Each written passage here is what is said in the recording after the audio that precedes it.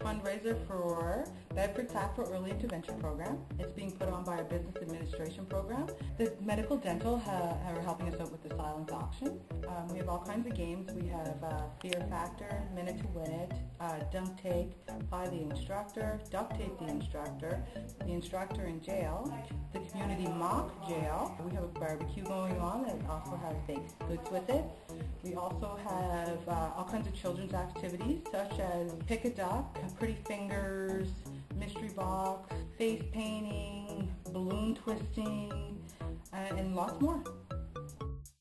Yeah, Starbucks actually were a big, huge help. Uh, they came and they actually brought their own volunteers as well as all their own equipment and offered uh, to man their stations. They only uh, charged a dollar for the coffee. All proceeds are going to go to the Bedford Sac Early Intervention. They've been a great help. Also, the Bedford Sac Early Intervention Program, the people were actually fundraising. They've uh, uh, came and helped participate today, and they've also um, uh, allowed us to use some of their games that are for development uh, delights to kids to play with too.